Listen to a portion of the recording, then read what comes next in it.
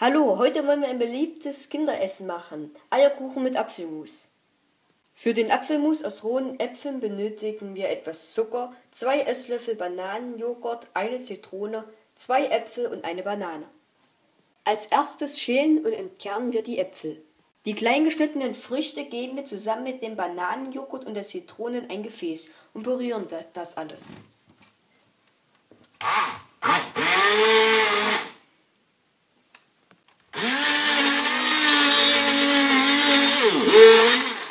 Für unsere Eierkuchen benötigen wir 100 Gramm Mehl, ein Ei, ein Päckchen Vanillezucker, zwei Esslöffel Zucker und 200 Milliliter Milch. Dieses mixen wir alles kräftig durch. Zuerst erhitzen wir Fett in einer Pfanne.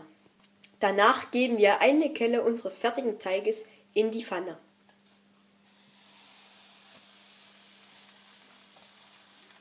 Die Pfannkuchen wenden wir ein paar Mal, bis sie goldbraun sind. Das Ganze servieren wir mit unserem Apfelmus und etwas Zimt. Viel Spaß beim Nachmachen und bis zum nächsten Mal.